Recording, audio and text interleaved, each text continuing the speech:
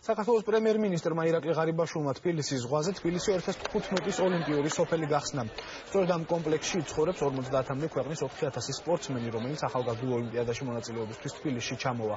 ამავე ღონისძიებაზე მთავრობის მეთაურმა ოლიმპიური სოფლის მერი წარადგინა ამ სიმბოლურ თანამდებობას ქართველი ფეხბურთელი ლევან კობიაშვილი დაიკავებს. ოლიმპიურ სოფელს როგორც წესი მერი ხელმძღვანელობს.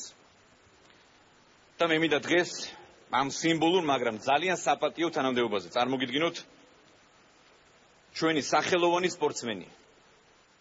ყველასთვის ცნობილი და საყვარელი ფეხბურთელი ლევან კობიაშვილი.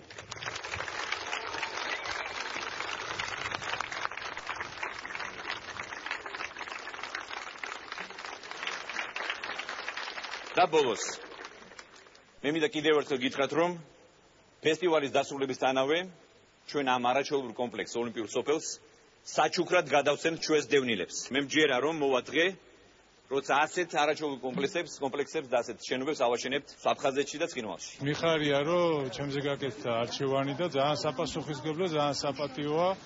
გერქვას ოლიმპიური სოფლის მერი და რავი, ჩემი მხრიდან მაქსიმალურად ყველაფერი იქნება გაკეთებული, რომ ღირსეულად ჩავატაროთ ეს დღეები. საზეიმო ცერემონიას პრემიერთან ერთად ოფიციალური პირები, სტუმრები და ოლიმპიადის ახალგაზრდა მოხალისეები ესწრებოდნენ. ოლიმპიური სოფლის გახსნის ცერემონიის შემდეგ კომენტარები გააკეთეს მთავრობის და თბილისის საკრებულოს წარმომადგენლებმა. რეალურად ქალაქში გახსნა ახალი ქალაქი და ძალიან მნიშვნელოვანია რომ საუცხოო პირობებით ჩვენი ტოლილები ისარგებლებენ და დარწმუნებული ვარ რომ ამ პირობებში სხვაები ჩვენი თანამომავლები შემსებას მისცემენ მე ქართულ სპორტისაც.